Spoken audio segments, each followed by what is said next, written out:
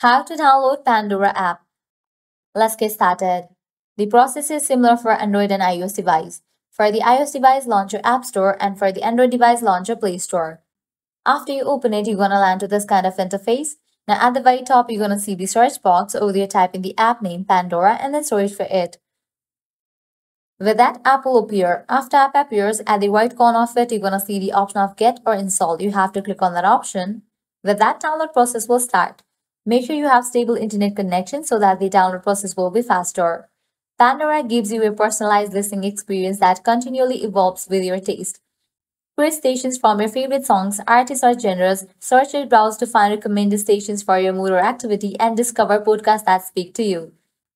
After completion of this download process, you can launch it, log into your account, and use it. So, this is how you can easily download Pandora app. At the end, if you guys find this video helpful, don't forget to like, share, and subscribe to our channel. Thanks for watching.